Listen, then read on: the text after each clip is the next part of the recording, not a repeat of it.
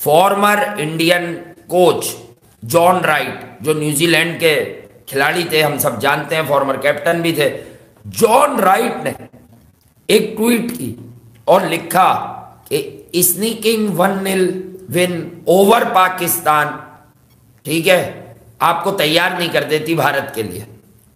आपको भारत के लिए तैयार नहीं कर देती, क्योंकि इंडिया में इंडिया से टेस्ट क्रिकेट खेलना एक different ball game all together है, ना वो श्रीलंका है, ना वो पाकिस्तान है। होम कंडीशंस में इंडिया डेडली होती है। मतलब ये मतलब था तो ये, वो भी यही मिसाल ले गए। यानी कि यहाँ पे पर्सनल माइलस्टोन्स के लिए रन नहीं खेला जाता। यहाँ जीत और हार के लिए, फैसले के लिए खेला जाता और ये रिवायत बरकरार जो रखी हुई है विराट कोहली ने और हमें मालूम ये नहीं था, डर ये था, मुझे तो हमेशा से रोहित शर्मा को लेके सिर्फ़ टेस्ट क्रिकेट में डर लगता था कि उनके मामला क्या होंगे, वो किस सोच के तहत टेस्ट क्रिकेट में टीमों को लड़ाएँगे। लेकिन मैच जीतने के बाद, आज वो साजिशी लोग भी सुन लें। मैच जीतने के बाद रोहित शर्मा ने कहा कि मैंने फॉर्मर कैप्टन विराट कोहली को देख देख कर बहुत कुछ सीखा है कि वो कभी भी मोमेंटम बनाने के चक्कर में नहीं रहता था कि ये खुद ही कोई गलती करे, बल्लेबाज आउट हो जाए। वो बॉलर्स को घुमाता रहता था विकेट की तलाश में रहता था हर वक्त टेस्ट क्रिकेट में। और मैं भी बतौर कप्तान उसी लेगेसी को आगे लेके चला। मैं ये नहीं समझ रहा था, ना ये सोच रहा था कि बॉल तो स्पिन हो रही है, ये खुद ही आउट हो जाएँगे। मैं अपने बॉलर्स को जल्दी जल्दी शफल कर रहा था तो ये रीशफलिंग ऑस्ट्रेलिया के दिमाग में बैठ गई। और इस रीशफलिंग की वजह से ऑस्ट्रेलिया का काम उतर गया। हालाँकि अगर वो ये सिर्फ़ विराट कोहली के साथ नहीं खेले तो धोनी के साथ भी खेले। जी हाँ। समझ गया? यानी कि ये सीरियल चलती भी आ रही है। हाँ। सीना बसीना नहीं होता? सीना बसीना यानी कि धोनी से विराट विराट से रोहित हाँ। सीना बसीना चलने वाली चीज़ें। मगर वासे ने जो स्टार्ट किया है ना उसमें थोड़ा सा मैं ऐड कर दू उसमें ये वो जनाजा है जिस पर हर कोई फूल चढ़ाने के चक्करों में लगा हुआ है। की बात छोड़ी है अभी जॉन राइट आ गए। डेमियन हाँ। मार्टिन है इसके अंदर। रोहित सर रोहित शर्मा भाई रोहित शर्मा ने एक तरीके से जीत की नींव रखी थी। जीत की नींव इन द सेंस कि यार देखो अगर ऊपर से रन्स नहीं आते पहली इनिंग में इंडिया की तो एक ही इनिंग थी खैर 400 रन। ऊपर से रन्स नहीं आते ना 120 तो ये 400 रन बनने इम्पॉसिबल थे और उस टाइम क्या नाम है ऑस्ट्रेलियन बॉलर भी चढ़ के बॉलिंग कर रहे थे जब दूसरा दिन हुआ इंडिया का। तो वहाँ पे रोहित शर्मा ने अपना हिम्मत दिखाया और बेशक से स्लो खेले, लेकिन उन्होंने ऑस्ट्रेलिया को रुला दिया, जो कहते हैं, रुला दिया इन द सेंस की विकेट नहीं दी। और वहीं पर उन्होंने इंश्योर कर दिया कि अब नीचे के बल्लेबाज भी रन स्कोर करेंगे। यार रोहित फिटनेस इशू था, वो रन्स नहीं कर पा रहा था। और भाई सबके साथ हो जाता है, मैं भी मोटा हूँ तो यार हो जाता है सबके साथ फिटनेस इशू लेकिन यार, उसको रोहित शर्मा ने कम किया और आज यार उसने रोर कर दिया, जहाँ पे बड़े बड़े फैफ फोर यानी देखो यार, विराट कोहली भी नहीं चले। बेशक से अनफॉर्चुनेट आउट हुए थे, लेकिन विराट कोहली भी नहीं चले। इसके बाद स्टीव स्मिथ भी नहीं चले, मार्नस लाबूसेन भी नहीं चले, डेविड वार्नर भी नहीं चले। यहाँ पे बहुत सारे फैफ फोर खेल रहे थे वर्ल्ड के टॉप नॉच प्लेयर यहीं पे भी थे। लेकिन यहाँ पे इन सब में से कौन चला? ओनली रोहित शर्मा। अगर तो सेकेंड इनिंग आती तो बेशक से विराट कोहली स्कोर कर देता ना लेकिन रोहित शर्मा भी स्कोर करता। खैर अभी तो रोहित के पास पूरे तीन मैचेज हैं और विराट के पास भी पूरे तीन मैचेज हैं तो यार विराट और रोहित ऐसी क्लास बंदे है कि ये यार आ, मारेंगे ही मारेंगे अब ऑस्ट्रेलिया बच के नहीं जाने वाली यहाँ से तो भाई ई एन चैपल का मैं बताऊँ वो ये कह रहे हैं कि ये स्मिथ क्या स्पिन स्पिनर को खेलते हुए अंगूठम का निशान दे रहा है इसका मतलब है इसको स्पिनर अच्छा लगा इसके पास कोई आर्ट नहीं था उनको खेलने का हाँ। नहीं कि उसने इसके ऊपर मंडाया कि हाँ। भाई ऑस्ट्रेलियन हो तुम भाई हाँ। तुम ये क्या ओके की रिपोर्ट स्पिनर को बोलते हो तू हाँ। अच्छी बॉल कर रहा है ये थम का इंप्रेशन अच्छा नहीं लग रहा तेरे पे हाँ। अच्छा डेमियन मार्टिन को याद आ रहा है 2004 वाला जब ऑस्ट्रेलिया आखिरी दफ़ा जीता था और वो जस्टिन लैंगर को इसमें ऐड करते हुए कह रहे हैं कि जस्टिन लैंगर जनाब 2021 में टी ट्वेंटी वर्ल्ड कप जिताया फिर इंग्लैंड के खिलाफ फोर ज़ीरो जिताया और फिर उसके बाद वो सैक कर दिए गए यानी कि निकाल दिए गए इनको रिजाइन देना पड़ा और फिर उसके बाद एंटोन मैकडोनल्ड तो वो ये कह रहे हैं जस्टिन लैंगर टाइप का आदमी चाहिए वो ये बताना भूल गए जस्टिन लैंगर लैंगर के अगेंस्ट छत्तीस पे ऑल आउट होने के बाद किस तरह छत्तीस का आंकड़ा सजाया था पंत ने और उसके हमारी यानी कि पंत ने नहीं मतलब उसने क्या नाम है उसको नहीं खिला रहे जिसको जो कप्तानी कर रहा था विराट की जगह। रहाने रहाने रहाने की कप्तानी में जो अल्टीमेट टेस्ट सीरीज़ जीता वो उससे बड़ी सीरीज़ तो इंडिया हाँ। के पास अभी तक इनके आर्काइव में भी नहीं है कि इतनी बड़ी सीरीज़ वही सीरीज़ जो है ना उसकी शिकस्त हजम अच्छा, नहीं हो पाई इन लोगों से। उसके बाद वो निकल कर आ गए जनाब डेल स्टेन निकल कर आ गए कह रहे हैं ऑस्ट्रेलिया को इंडिया ने नागपुर के तीसरे दिन नहीं गिराया। इंडिया को ऑस्ट्रेलिया इंडिया ने ऑस्ट्रेलिया को मैच शुरू होने से पहले ही घुटनों के बल तो पिच पे गिरा दिया था। घुटनों के बल पिच पे गिरा दिया था। अब ये घुटनों के बल चल रहे हैं दिल्ली तक के लिए। तो मैं ये कह रहा हूँ कि इंडिया ने स्टार्ट में ही इनको वो मज़ा चखा दिया है जो जिस मज़े को वो अब पूरी सीरीज़ में भूलते हुए नज़र नहीं आ रहे।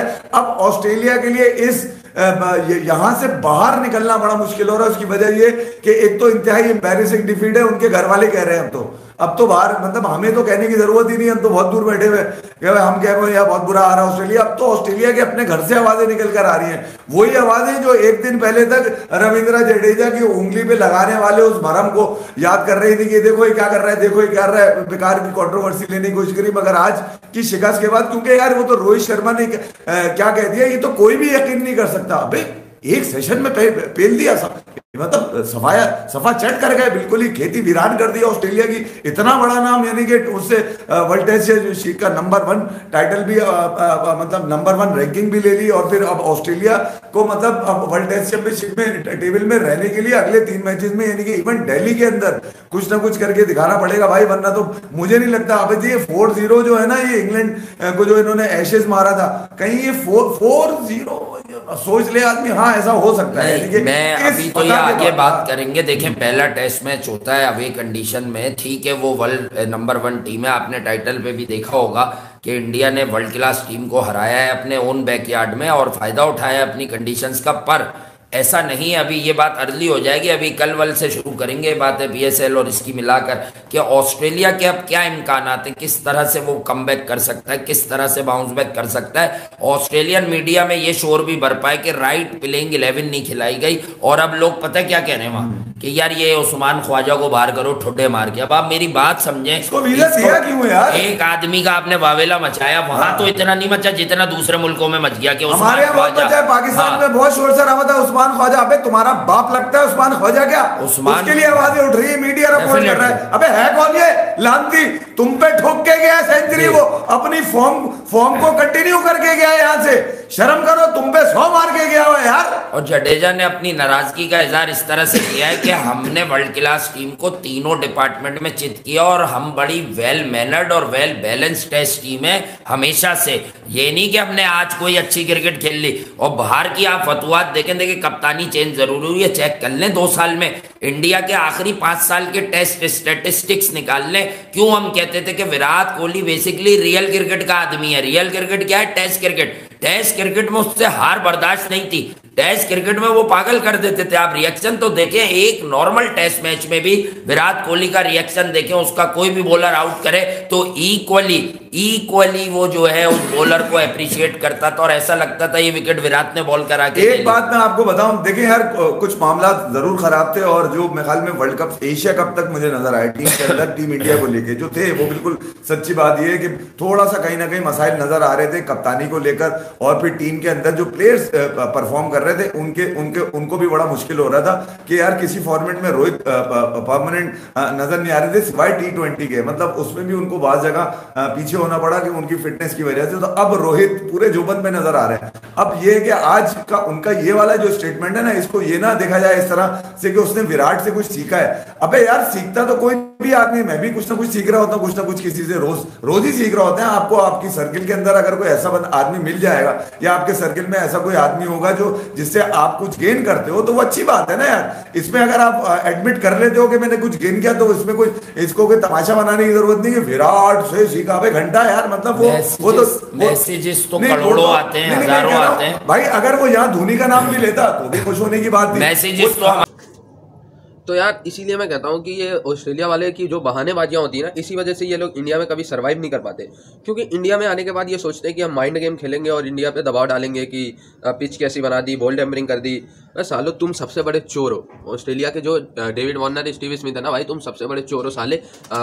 तुम जाके साउथ अफ्रीका में बॉल टेम्परिंग कर रहे थे और अब यहाँ पे इंडिया को जडेजा पे इल्ज़ाम लगा रहे हो। अबे सालो, तुम वो यार क्या मतलब तुम्हें आईसीसी ने बैन कर दिया था बॉल टेम्परिंग के लिए? इसके बाद आईसीसी को, का रूल्स तुम्हें पता होने चाहिए बॉल टेम्परिंग के। इसके बाद तुम कह रहे हो कि यहाँ पे जडेजा ने बॉल टेम्परिंग की है। मैं सालो कुत्तो। मतलब तुम्हें गालियाँ देने की मन कर रहा है। यार क्या ही बोलूँ कि मैं जडेजा जो है बॉल टेम्परिंग कर रहा है। यार तुम कहाँ से ऐसे ऐसे लोग आते हो यार? अब ऑस्ट्रेलिया अगर चार ज़ीरो गई ना, मुँह काला कर लेना स्टीव स्मिथ और डेविड वार्नर। सालो तुम लोग मतलब कुछ भी कर सकते हो यार। इतने घटिया लोग हो। तुम तो पाकिस्तान से भी गिरे हुए लोग हो। मतलब बॉल टेम्परिंग कहाँ से कर दी सालो? यहाँ पे इतना कैमरा लगा पड़ा है। तुम्हें मतलब कैमरे से भी तेज तुम्हारी आँखें हैं। क्या है वो? बोल रगड़ रहा है, बस मतलब बोल तो तुम भी रगड़ते रहते हो जीभ और पता नहीं क्या क्या लगा के। है भाई?